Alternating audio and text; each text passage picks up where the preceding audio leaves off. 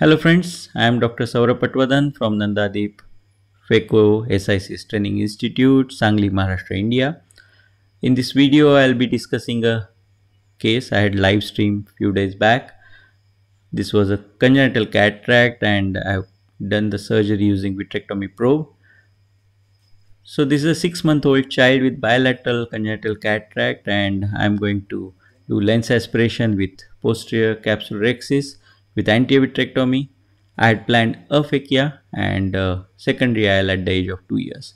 Now here I decided that instead of PCCC, since I am not going to implant any IOL at this point, I'll use vitrectomy probe itself to do the posterior capsulotomy and anti-vitrectomy. I generally use trypan blue dye in these cases, though it may not be necessary, but I feel that uh, maneuvering and uh, doing capsulorhexis in a stained capsule uh, is a bit easier, though it's absolutely optional. Most important thing is to remove this trypan blue dye within 20 seconds to avoid any issues with the endothelium. And it's absolutely safe. We don't see any endothelial issues with trypan blue.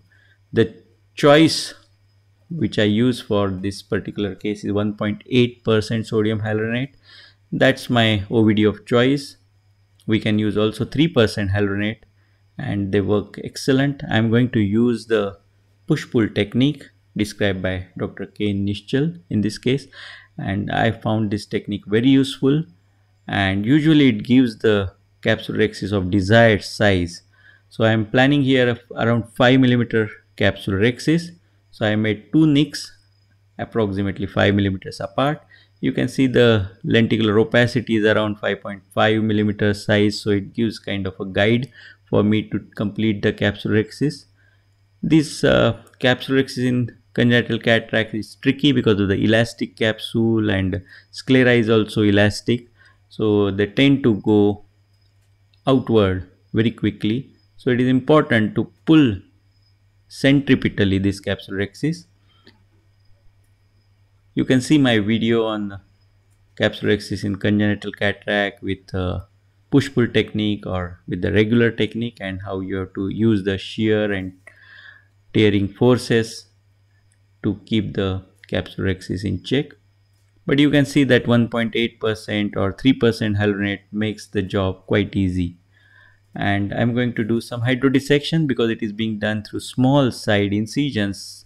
Many times we have to do multiple quadrant hydrodissection so as not to raise the intraocular pressure or antechamber pressure too high during this procedure. Now I'm going in with 23 gauge vitrectomy probe and uh, infusion cannula here. In the anterior chamber you can see I'm going to use only the vacuum in the initial part no need of cutting. I'm using 90 to 100 centimeter of uh, IOP or bottle height to maintain the anterior chamber and uh, using just vacuum I'm going to just aspirate the lens. This is a very soft nucleus as expected in congenital cataracts. The only thing we have to do is just aspirate it out. Just make sure that there is no cortex left in the bag. Little bit of tags you can just polish them out. Using the probe itself you can do it as you can see here. And once the lens matter is out I'm going to shift to vitrectomy mode and you can see the opening of the vitrectomy probe is now towards the posterior capsule. I engage the posterior capsule with vacuum and start cutting. I'm using here bi-blade mid-lapse cutter of, with the cut rate of 2000 which is equivalent to 4000 cut rate.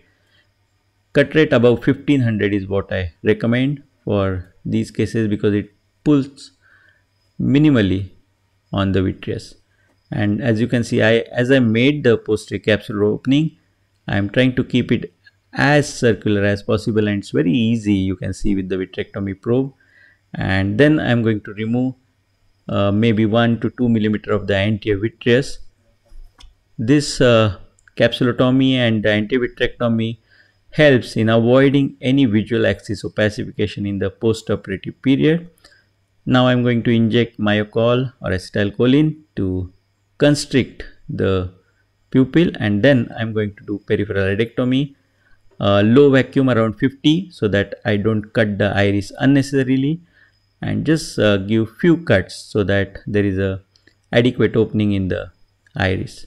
Usually it bleeds in these cases. So what I do is I just inject air bubble in the anterior chamber so it kind of keeps the bleed localized and because of the air the clot forms very quickly. That I use 10-0 Vicryl to close these uh, small incisions. It's important that we close it with suture. The advantage of 10-0 Vicryl is that it dissolves so you don't have to remove it later unlike 10-0 nylon but sometimes it may uh, give rise to mild inflammation and granuloma formation which may need removal. But uh, otherwise uh, I found using this uh, suture quite useful because we avoid another procedure under general anesthesia. Of course, uh, whenever it is needed to examine the child in the postoperative period, we may need examination under anesthesia. So that's the end of the procedure, nice and tight chamber 10-0 Vicryl in place and this is the two month post operative picture you can see the anterior and posterior capsule have nicely fused no opacification at all and uh, after two years I'll be implanting IOL in the sulcus. Do subscribe to my YouTube channel, watch our Facebook page phacotraining.org.in and do visit our website phacotraining.org.in. Thank you.